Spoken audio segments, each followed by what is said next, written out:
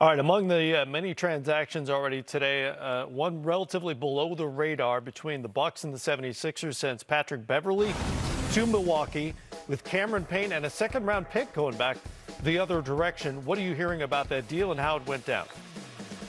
Well, the Milwaukee Bucks all season long have been struggling defensively. Um, point of attack defense has been a problem. Um, so they've been scouring the league, trying to figure out what they can do. They didn't have much assets, um, not no, no, real draft capital to make any significant moves, and so they're able to pick up Pat Bev, um, who is still uh, one of the most uh, tenacious defenders we have out on the perimeter. He, he's, the, he's a guy that brings an edge. But also, what's not lost on many people, especially on social media, is that you know Pat Bev and Damian Lillard they have history. A mm-hmm. ton of history, quite quite the history, and uh, so you know people always wonder like, okay, what is that dynamic? What is that going to look like? How are they going to play out? And so I was able to reach out to Dame and um, get his initial thoughts. And so here's um, here's what Dame told me about teaming up with Pat Bev. Said first, I want to say I'm sad to see Cam Payne go. We developed a friendship that I cherish.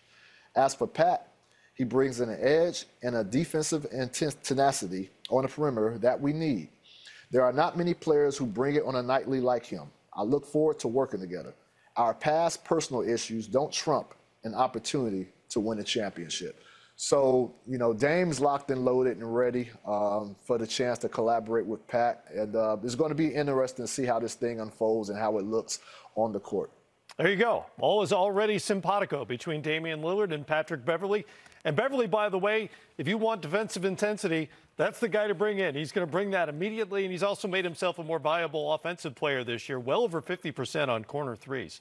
Uh, Chris, great as always. Appreciate it. We'll talk to you soon. Maybe, maybe during this show if something else happens. Chris Haynes with us from New York. Thank you, Matt.